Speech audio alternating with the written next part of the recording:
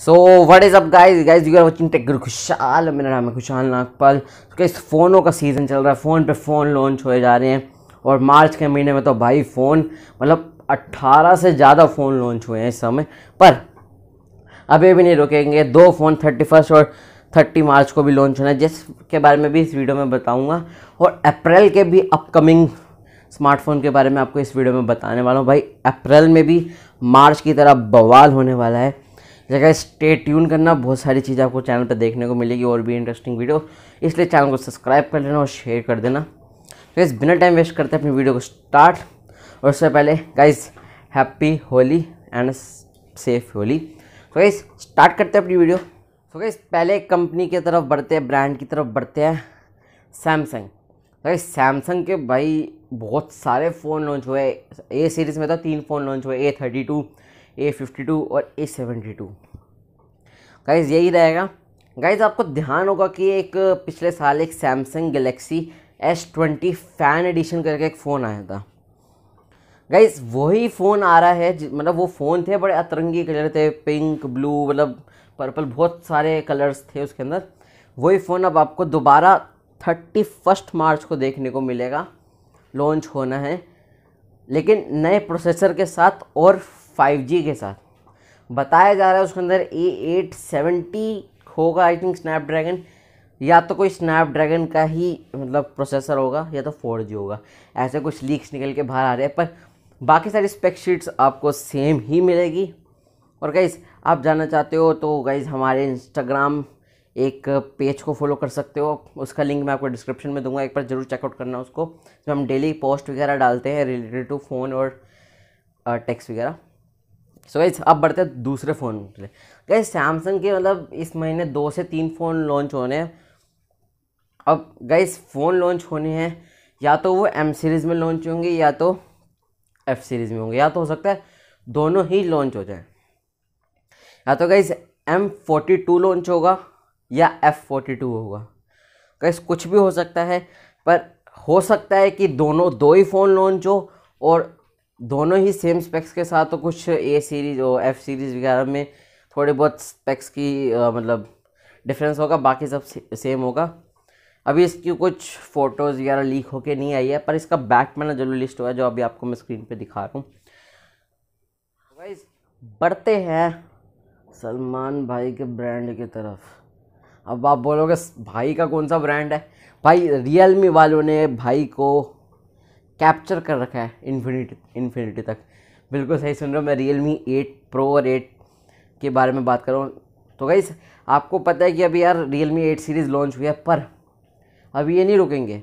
अभी आपको अप्रैल के अंदर रियल मी एट प्रो और एट का मतलब पहले तो अप्रैल के अंदर रियल मी एट का आपको फाइव जी वेरियंट देखने को मिलेगा।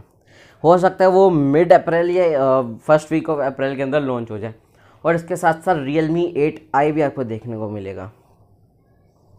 सो so गाइज़ ये थे कुछ बजट अब कुछ बात करते हैं फ्लैगशिप लेवल के। सो so गाइज़ आपको ध्यान होगा कि एक रियल मी जी टी करके एक फ़ोन लॉन्च हुआ था चाइना में। स्नैपड्रैगन ट्रिपल एट तगड़ी स्पेक्स सुपर एमलेड और one twenty hertz refresh rate काफ़ी सारी स्पेक्स के साथ रिलीज़ हुआ था, जो काफ़ी अच्छा फ़ोन था, एक गेमिंग फ़ोन था।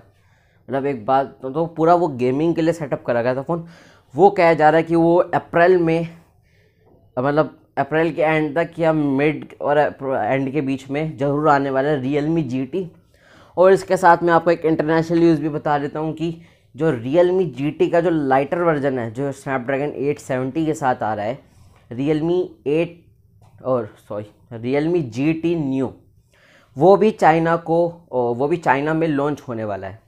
वो भी शायद इंडिया में आए ना आए, अभी तक तो नहीं पता, लेकिन रियल मी जी तो कन्फर्म्ड है, आएगा ही आएगा। गाइज़ अब बात करते हैं स्वामी के बारे में। गाइज़ अभी आप जिस समय मेरी वीडियो देख रहे होगे ना, या तो उस समय लॉन्च इवेंट चल रहा होगा, या तो भाई कुछ ना कुछ तो चल ही रहा होगा। गाइज़ पहली बात तो कंफर्म है कि ऑफिशियली एम आई इलेवन का ग्लोबल लॉन्च इवेंट है। मतलब मेरे वीडियो देख रहे हो, उसके बाद या उसके आसपास, और एक मेगा इवेंट है ट्वेंटी नाइन मार्च को मतलब आज के दिन जब आप देख रहे हो। मगर छः से ज़्यादा चीज़ें लॉन्च हो रही है। अभी तो मैं फ़ोन के बारे में भी बात करूँ लेकिन बहुत सारी चीज़ें भी लॉन्च हो रही है, जैसे मी बैंड सिक्स हो रहा है, और कोई स्पीकर वगैरह हो रहा है। मी मिक्स का नया फ़ोन आ रहा है, और प्रो अल्ट्रा लाइट करके कुछ एम ई एलेवन ऐसे लॉन्च हो रहे हैं। वो सारी चीज़ें आपको मेरे टेक्रोज़ वाले इंस्टाग्राम अकाउंट में मिल जाएगी लिंक इन द डिस्क्रिप्शन लेकिन अब बात कर लेते हैं भाई, जो इंडिया में कौन सा आना है? इंडिया में आपको देखने को मिलेगा मी इलेवन और मी इलेवन लाइट तो गाइज़ अब बात करते हैं पोको के बारे में।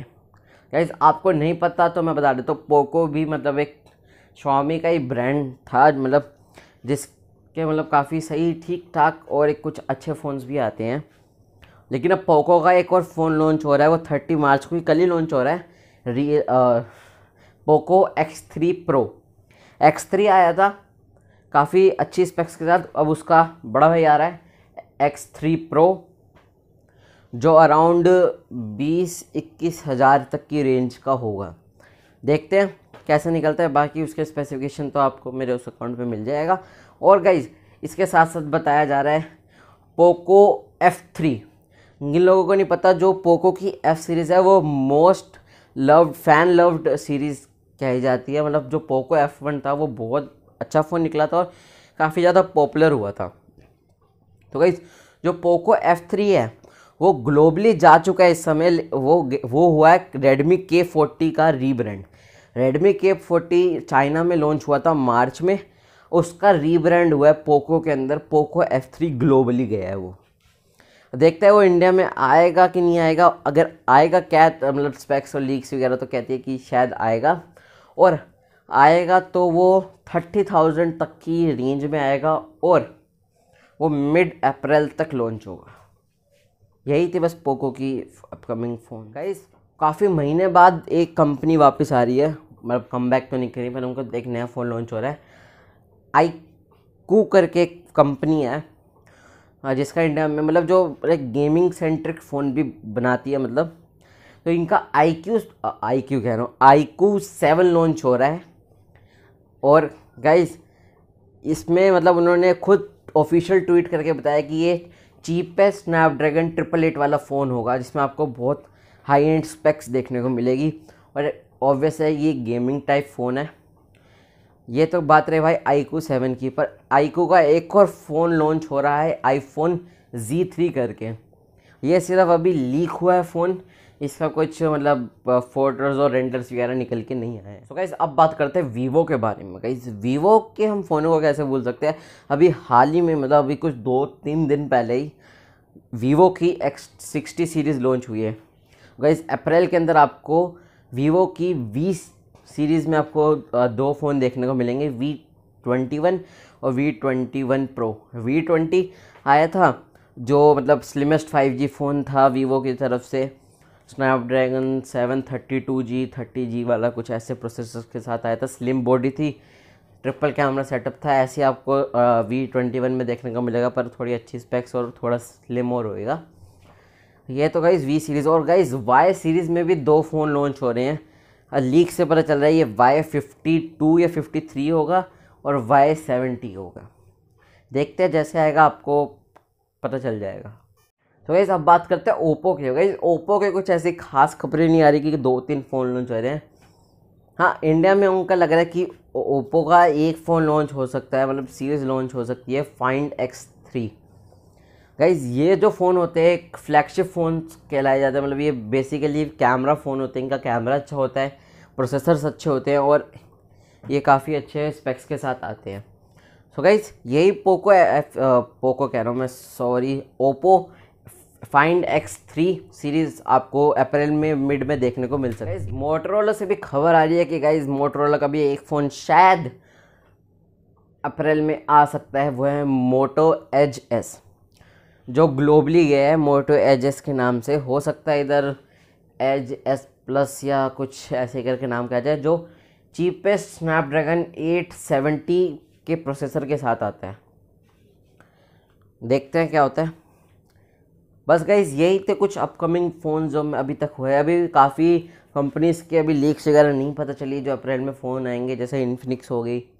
ओप्पो के और मोटरोला के भी अभी कुछ खास फ़ोन्स के बारे में पता नहीं कि और आना है कि नहीं आना। टेक्नो हो गई। देखते आके बाकी आपको तो इन्फॉर्मेशन मिल जाएगी। और गाइस यहाँ पे वीडियो को ख़त्म करते हैं। मिलता हूँ मैं आपको अगली वीडियो में। तब तक के लिए थैंक्स फॉर वॉचिंग